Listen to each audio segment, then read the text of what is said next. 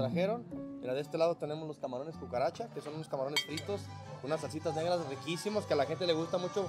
Sobre todo ahorita que tenemos el tequilita para botanear, están especiales. Quesitos fundidos que son muy típicos por este lado, con su tortillita y sus taquitos.